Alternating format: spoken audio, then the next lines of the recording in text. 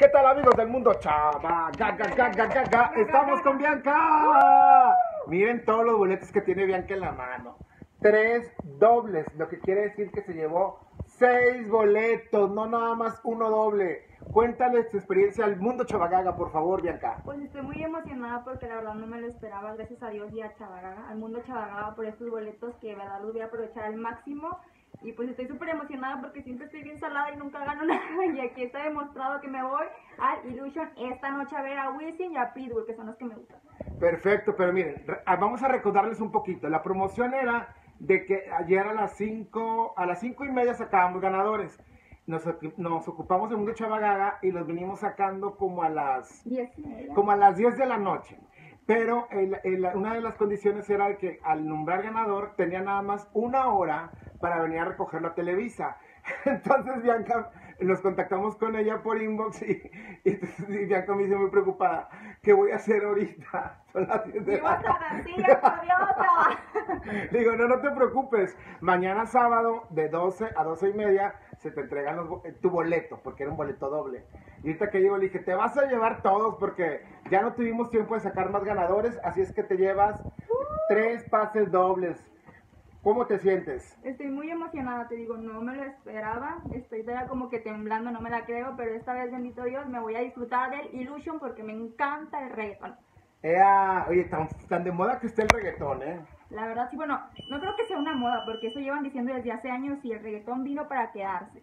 Vino para quedarse. Yo de pronto sí empecé una campaña contra algunos intérpretes del reggaetón porque es puro sexo y es pura... La mujer la, la, la reduce nada más a, a teibolera en los videos, en los videos. Me refiero mucho a los de este, el chaparrito, ¿cómo le dicen? El negrito. El negrito ojos claros. Ándale, Osuna. Un día le quisimos hacer un especial en Mundo Chavagaga que tenemos, teníamos nuestro programa por Sky en la primera temporada y no es intransmitible la mayoría de sus videos, están súper fuertes. De hecho, bueno, yo considero que hay videos, hay videos peores, lo que viene siendo el trap, pero bueno. Ándale, El trap ándale. es como que un poco El más Bad Bunny. Ajá, Bad Bunny, el peor. Bueno, sí me gusta mucho toda esa música, Ajá. pero también estoy consciente que si tuviera hijos, la verdad no les pusiera ese tipo de música porque sí está muy grosera. Pero también yo creo que depende de los padres que pongan así a sus hijos a escuchar música para su edad, no ese tipo de canciones, como en las escuelas. El video que se hizo viral de mayores. Ajá. O sea, todas las niñas lo cantan con todo el sentimiento, como Sí. si todas tuvieran un viejo mayor. o sea, manden. Sí, pues son modas musicales. Como tú dices, ya el reggaetón lleva un buen tiempo y se está poniendo un poco más fuerte. Por ejemplo, yo le peleo mucho a Maluma que no son felices los cuatro, no pueden ser felices porque están en infidelidad. Exactamente. A mí, de hecho, Maluma me cae bien gordo. Maluma me cae bien gordo porque no es nada este, accesible y es bien grosero con sus fans. Yo la verdad te digo, me gusta mucho el reggaetón y tengo la oportunidad de conocer a varios artistas del género porque me gusta mucho y la verdad Maluma es súper sangrón y también Nicky Jam y lo digo públicamente, me vale si su gente lo ve, me cae gordo Maluma y Nicky Jam.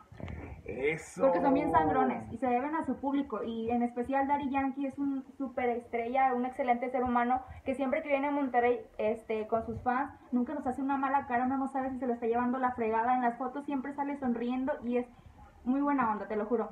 Es que un artista debe estar en comunicación con su público, no tanto con los medios, si, si quieres, eh, los puede evitar, pero con Con su fans. público, eh, hay artistas como Maluma que son inalcanzables.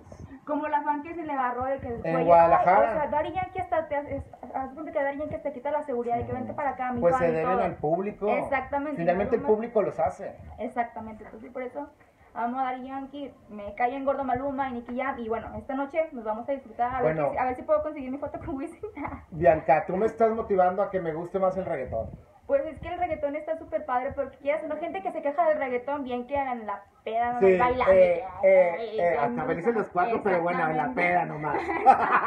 Pero bueno, como quiera el reggaetón tiene diferentes temas, también hay canciones románticas y todo, ya cada quien pues sus gustos. Claro, pues bueno, felicidades, que te la pases muy bien en el concierto, fuiste la gran ganona de todos los boletos que íbamos a dar, este, y por algo pasan las cosas, yo creo que este día va a ser muy especial para ti.